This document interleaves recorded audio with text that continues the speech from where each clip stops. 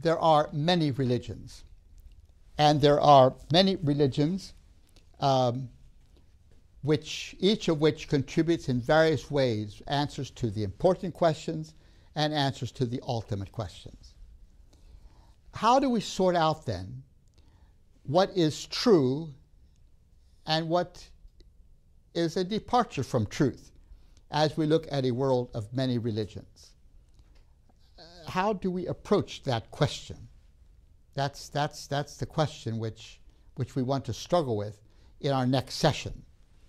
But for right now, I'd like to, um, I'd like to simply notice that these religions, that religious systems and cultural systems are organized like an onion and the center of the, of the onion is the world view.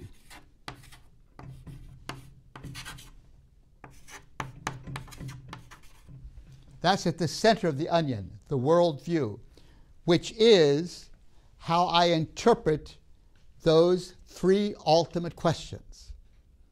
The answers I give to those three ultimate questions are the worldview.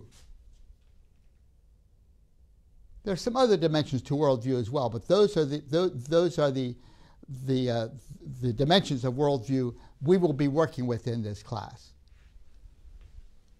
What, what is the meaning of the universe and what is my place in the universe? Those questions are worldview questions, which are at the very center of the culture. We call this in English the culture core the core of the culture. Then around that worldview, we find the power, the power system, which we just talked about a bit ago. The system of power.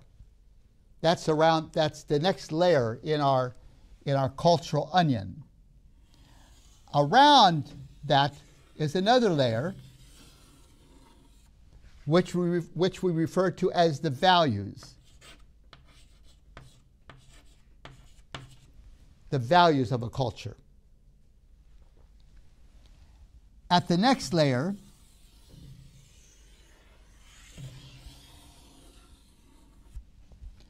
we have the practices of a culture.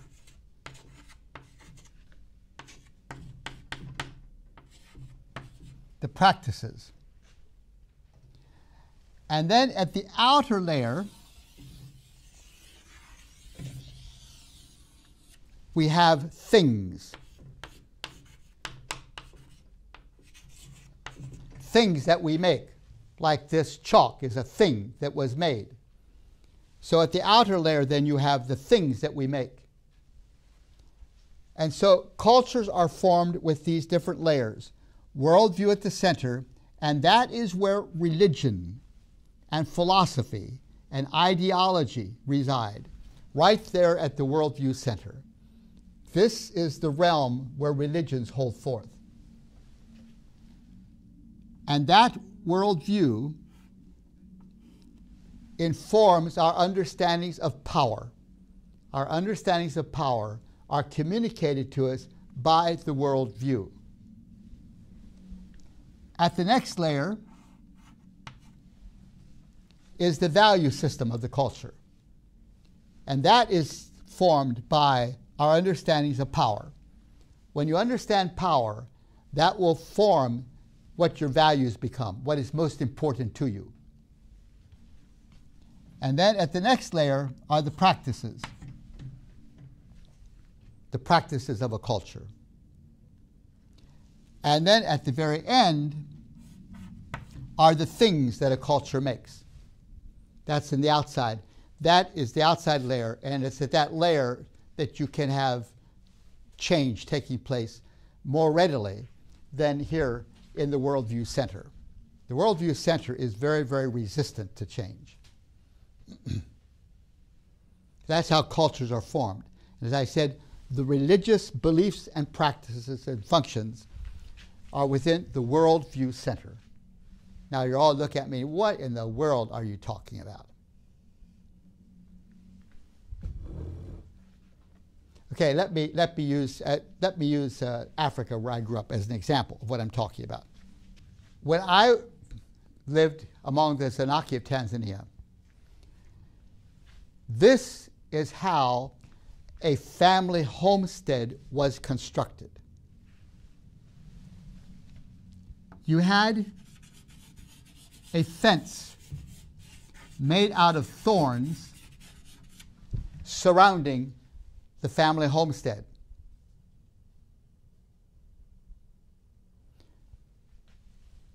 It was cactus thorns. When the wind would blow, the cactus needles would actually float in the wind and could sometimes penetrate you if you're walking past one of, one of these hedges. Every homestead had this cactus hedge around the homestead. Why? Why would they do that? That's the artifact, that's the thing that they lived in.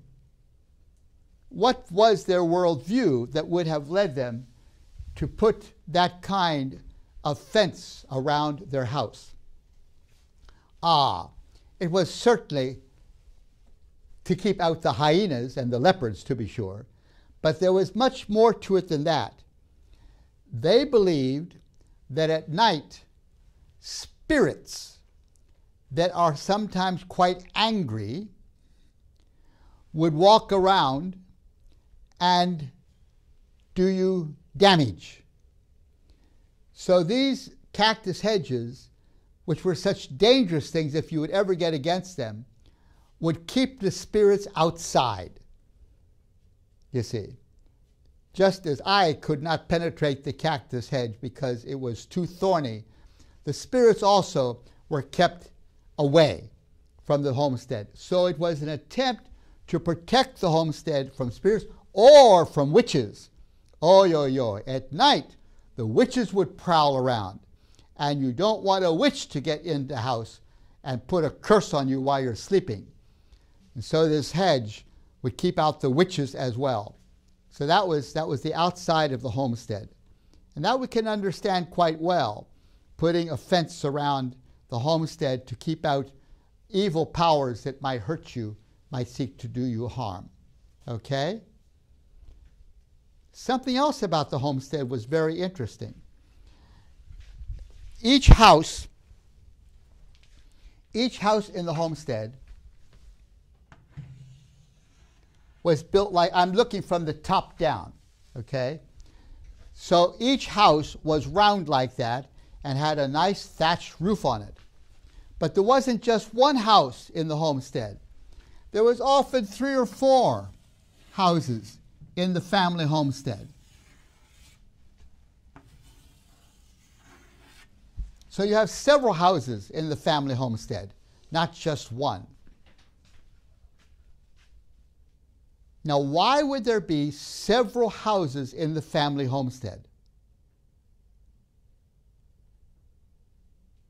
Why not I live in a house which stands by itself. There's not other houses linked to my house. They're in the USA, just as you do. But here in this African situation, every family homestead had several houses. Why? Ah, I'll tell you why. It's because a wife lived in each house. Could you imagine two wives living in one house together? No, impossible. Impossible. And so the man, the husband, would build a house, a nice round house for each wife that he had. And so on Tuesday night, he would be with this wife, on Wednesday night with this wife, on Thursday night with this wife, on Friday night from this wife, he was always a visitor, going from the home of, of, of wife to wife, going to her homestead, you see. That's why they put it together this way. And so when you would look at the artifact in which they lived, you would see these multiple houses. And the reason there was multiple houses was because the man wanted to have several wives. Now, a wife was very costly. A wife might cost 20 cows. So if you have four wives, that's at least 80 cows, maybe 100 cows that you paid for all those women. Very costly. And furthermore, wives are always fighting with each other. And so you don't have peace in your homestead. So, what do you think was the value that made a man want to have so many wives when they make so much trouble for him and they're so costly? What's behind it? Even a small contribution can make a big difference. Jesus fed 5,000 people because of a little boy's five loaves.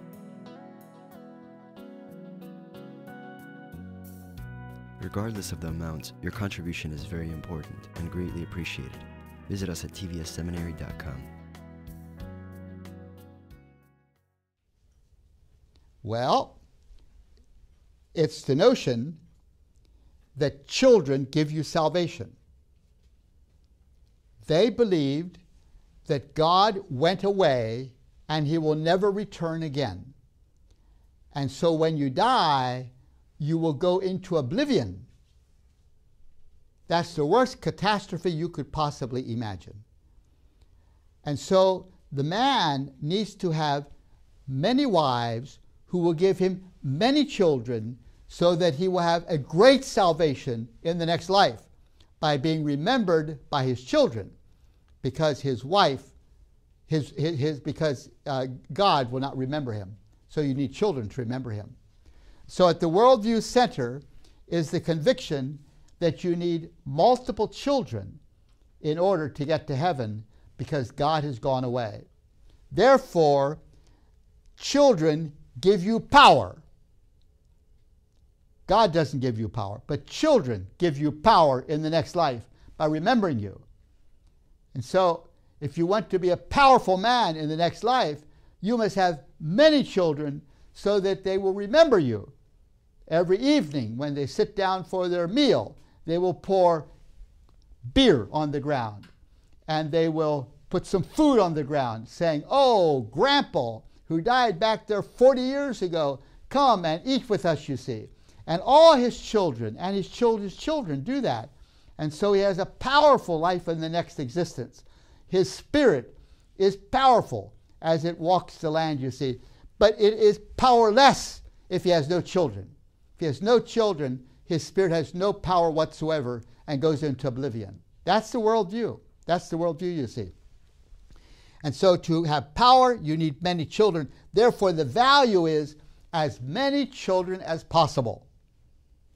And the practice then becomes polygamy multiple wives, as many wives as possible, so that you will have as many children as possible.